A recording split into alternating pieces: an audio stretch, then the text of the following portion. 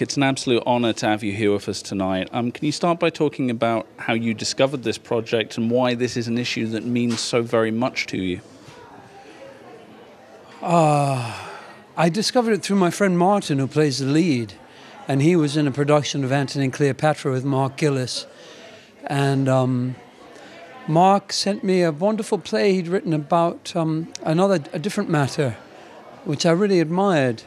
And then um, and then I and then I heard about this film and read the script. No, I didn't read the script. I just heard about the film, and um, I think I gave some money to support it, and I was I was thrilled that Martin then was going to be in the film because I think he's an underrated actor, and an old friend of mine, and uh, I think that the. Um, I don't know. For me, I don't know many people who are living at that level of um, survival and uh, but I share the feeling of, of responsibility as a father for those people who are uh, elder and younger than me, and the film explores that that uh, crucible, if you like, of being a um, middle-aged man between your father and your son.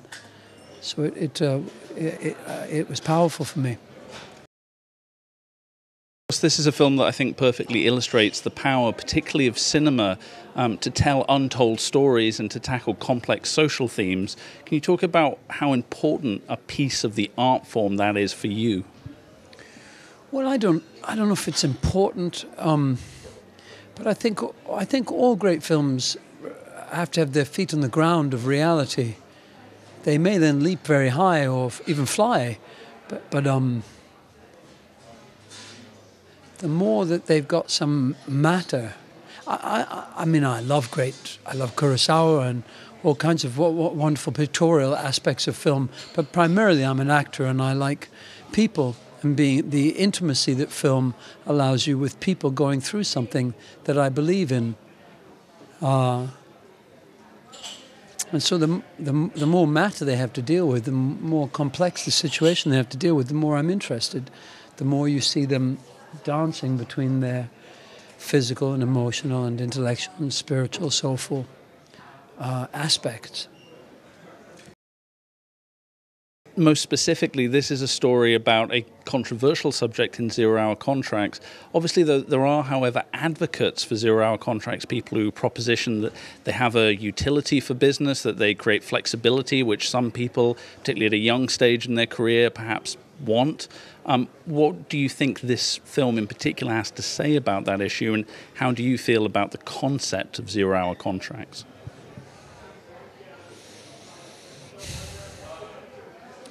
I don't know. I'd have to have a lot of evidence to be able to answer that question with any real meaning. Um, there's evidence people put for different sides. I, I mean, I think we're moving we're moving rapidly to a place where robots are going to. I mean, robots are ready to do so much, to to uh, uh, unemploy hundreds of thousands of people. So we're um, and machines were always promised to the working man as something that would create make the job easier and create more leisure. But then, rather than creating leisure, they just created more work, and uh, I think we're moving to a very, very different uh, understanding of what how we share the wealth that's created by a mechanized, industrialized, corporatized workplace. Um, I don't know. I don't see. I don't see a lot of people going around saying how great it is that they have a zero hours contract. I guess if I met a lot of people who were uh, enjoying themselves with that, but um, some people, of course, for there's always uh, for some people it's probably a step up and a, a great relief. But uh, I don't know enough to really give more comment than that, other than the whole thing is changing very, very rapidly. And the, the people that I meet who are looking at the situation of work and society see massive changes coming, massive changes. You alluded there to the effect that technology is having on our life. I'm curious, given um, one of your most recent performances was in the superb Ready Player One, was that something that was more on your mind in recent in recent years? Technology. Yeah, I'm very challenged by technology. I, I, I'm an actor, and all my training is to be present and be here and involved in the moment with the other person. And I find technology a big distraction and a drag. I'm not someone who I haven't found it's really. I don't think it's really improved the quality of my life. I can communicate with people very far away, but I'm kind of interested in the intimacy with people who are right here now, and I find it pulls me away from that. Um, and I guess that was the theme of Ready Player One, certainly the theme that interested Steven. Uh, he's much cleverer than I am in keeping up with all that stuff.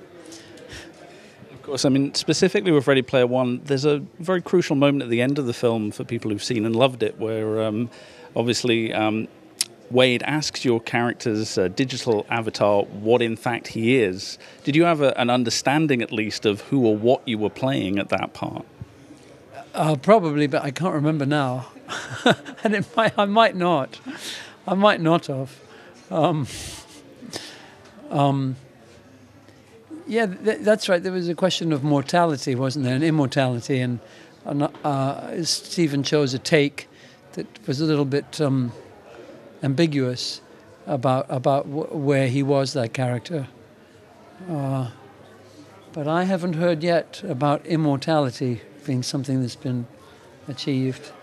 Though I did see the other day an amazing little tool that where you would say which way is the train station and then you hold it to the Japanese person and it says that line in Japanese to the Japanese person. Have you seen that? I haven't yet, but I'm not surprised. It seems to be where things are going. No one's going to need to know languages anymore. You'll just carry a little thing that will just tra- a, a portable translator. I mean, maybe it'll maybe it'll be amazing. Maybe you'll be able to go and talk to the Lakota Indians in Wyoming in in Sioux or in Lakota, or in or go down to the Amazon and find some strange tribe. No, I guess not. You'd have to have them. they'd have to have their language put into the little computer. But maybe the computer will be able, like um, Spotify, to kind of listen to a language and unravel it. That would be very helpful for me because I'm not very good at languages. You've already mentioned uh, Steven there, who is a master storyteller you've been fortunate enough to work with quite a lot in recent years. Can you talk a little bit about what is so very special about that relationship for you and how it feels to now be giving back and supporting uh, other storytellers in the way that you have with this project? He's a very good model of, of um, a generous man, older man who's not uh, threatened by younger men. I'm sure at times he feels threatened or gen- or you know jealous of other people's successes, but he he um, from what I see in this, he's incredibly encouraging of people who love the thing he loves. He's not um, possessive or or um, mean with his talent or his ability. He's uh, he, he, one knows about the films he directs himself, but there's an enormous amount of other people's films that he will see before they're released and give a comment on or say something helpful from his perspective. And some of it's different taste, uh, of course, but um, I think he's a, I think he's a remarkable elder. But I've met many. Um, I've been lucky to meet and be helped when I was a younger man by a lot of elder men who knew more than I did and who were patient with me and and uh, guided with me without trying to control me to be them, but but uh, helped me to be myself and find my way. So um, he's he's one of a number of people who are like that, men and women. Yeah, I don't know. I've, I, I'm not an expert in film. I love film and I've seen a lot of film, more than people would realize because I'm thought of as a theater creature. But uh, I know that I know that these guys are, are, are onto something real, and this is early in their Mark Gillis's and Martin's and their creation of films. So I'm interested to encourage them at this place in, in any way I can. I believe you're working with Steven again on another project about uh, Pope Pius and quite an interesting uh, historical circumstance. Is, is that a project that uh, is happening soon? And can you tell us anything about what interested you in that story? I don't know if it's happening soon. Um, I don't know if it's happening soon. He's got a number of other things to do, hasn't he? West Side Story. I think he's got a film with Harrison Ford to do. Um, Are you angling for a part in that? No. No, I wouldn't angle for a part with Steven. I, have had more than my share of parts, and I know he'll come to me if he wants me. Um, I don't know if the Pope Pius film will happen. I, it's a, it's very he, he loves it and he keeps every six months or so he mentions it. Um, so I don't think it's gone away, but I don't think it's quite I don't think it's quite right yet. Uh, and it has a very very challenging part for a young boy, and that's why it didn't. We were about to make it. We were a month away from it shooting, and all the sets were ready and everything was ready, but he he just couldn't find a, a, a, a young boy to play a very difficult part, and uh, so it goes. Uh, when you're with him, though, there's so many things that are possible for him, and that he's excited about. So it's a question of, of whether that, that will rise to the top of the many things floating around in his uh, one of his BFG dream dream uh, canisters. It's a kidnapping um, really. But the main question of the story is is is in the boy uh, Edgardo. It, did, was he happy to move from his um, mortal family, his Jewish family, to this spiritual family of, of the Catholic Church and the Pope? And well, naturally, it, to some degree, he's a child, and it's wrong. It's just wrong that he was taken away, and I absolutely agree with that. But the curious thing in the script is the boy, the boy, the boy, uh, kind of is interested in a wider world, and he's partly kind of interested in this um, Vatican and the Pope. So it's a, it's a it's it's got a curious. Uh, uh, Tony Kushner's script is very curious, um, kind of a, a mystery to it. But I don't know. Uh, that may all change.